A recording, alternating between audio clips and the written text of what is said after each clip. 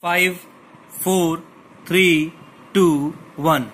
Mr. Deputy Speaker, sir, while welcoming and supporting the second finance bill moved by the Honorable Finance Minister, I would like to share some of my views for his kind consideration. He has announced certain tax relief and tax exemption on certain goods and commodities. I welcome them.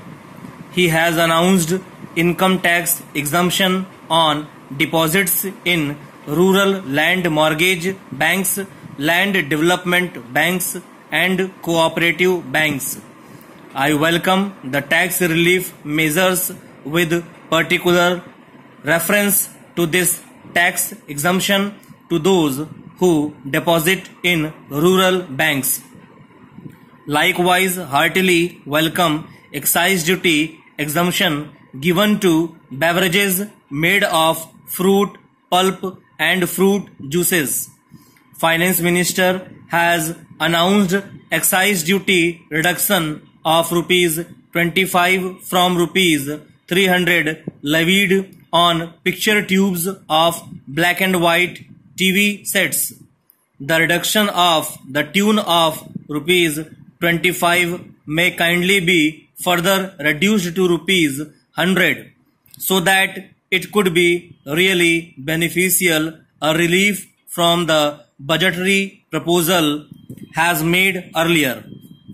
In order to bring out the black money, finance minister has announced that they may not be levying of fine on voluntary disclosure or investment in rural housing schemes. I would welcome this and would like to cite an earlier instance. When Mr. R. Venkataraman was our finance minister, he took efforts to bring out black money through the issuance of bearer bonds. I request the present finance minister to reconsider the feasibility of the earlier scheme. Now black money deposited in banks attract income tax and it is combined with the income tax already paid by such black money holders. Instead of encouraging black money holders to deposit them in banks, this method of taxation discourage them. Hence, I request the Honorable Finance Minister to treat such accounts separately and to collect taxes levied exclusively on them. The ceiling of taxable income remains to be 22,000 rupees. The present day prices and salaries if when taken in top consideration would suggest that even ordinary people could earn easily rupees 1750 of rupees 2000 a month. Middle class people are the ones who are worst hit by the low income tax ceiling limit now. Hence, I request the Honorable Finance Minister to raise liberally the income tax ceiling limit to 30,000 rupees from existing 22,000 ceiling limit. This kind gesture of the finance minister would benefit the salaried class at large. I would also request the finance minister to reconsider the slab rates method in the levying of income tax. Those who are in the income bracket of 2 to 3 lakhs of rupees find it fleecing to pay a tax to the tune of 40 to 60 percent of their income. This taxation method appears to give rise to black money. Our able finance minister should look into this problem in a right perspective.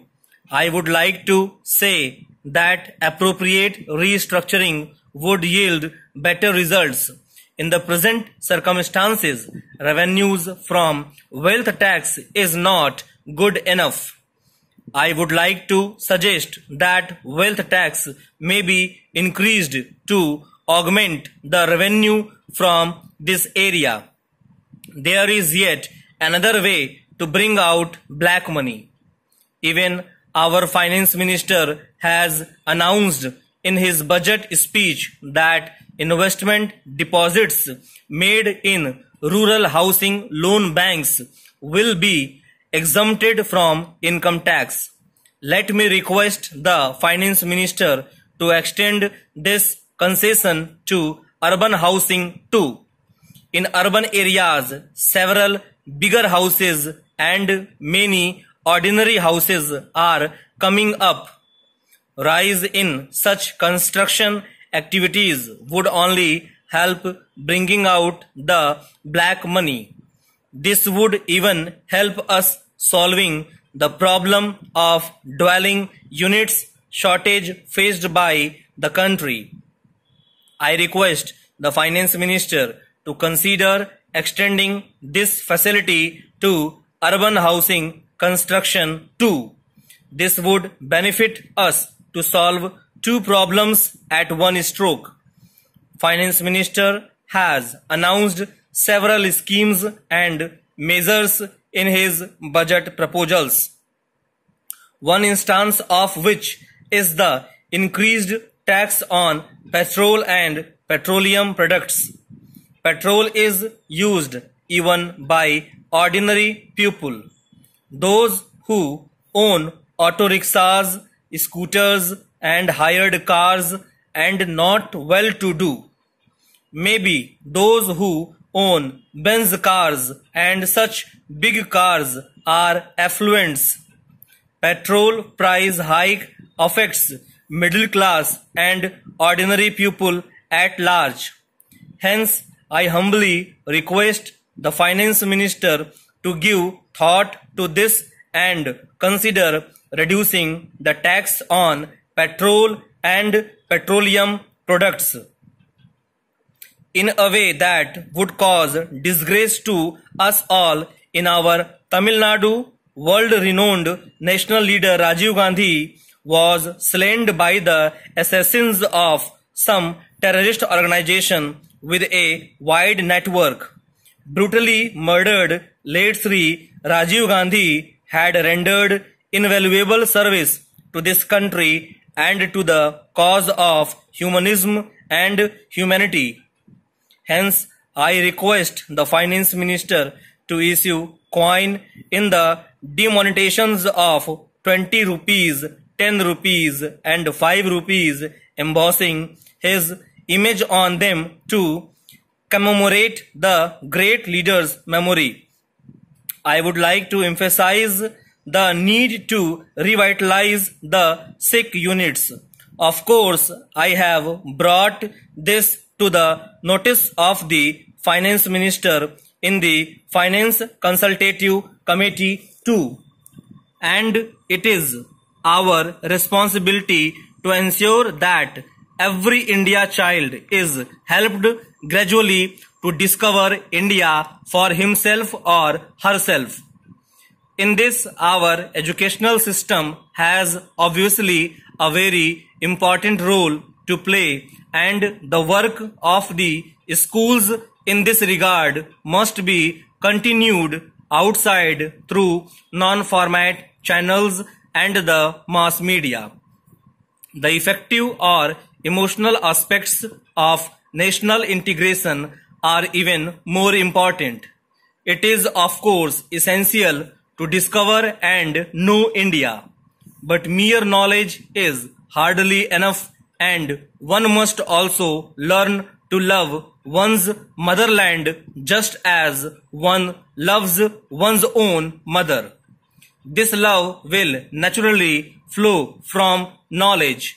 One begins to love India as one gets to know her and one's love for her depends as one's knowledge of her becomes detailed and comprehensive. In due course, this love grows and encompasses things, men and values. We begin to love the lofty mountains, dark forests, green valleys, fertile plains, lovely rivers, hill stations and shores, the flora and fauna, the religious shrines, and the wonderful historical monuments.